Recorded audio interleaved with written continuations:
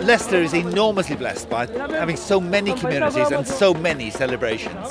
I particularly like the celebration of Holi because it's about the celebration of spring and it's about the new new new life and uh, and, and, a new year. Holi festival is the color festivals, art and the welcome the springs, and uh, also uh, is a fire god.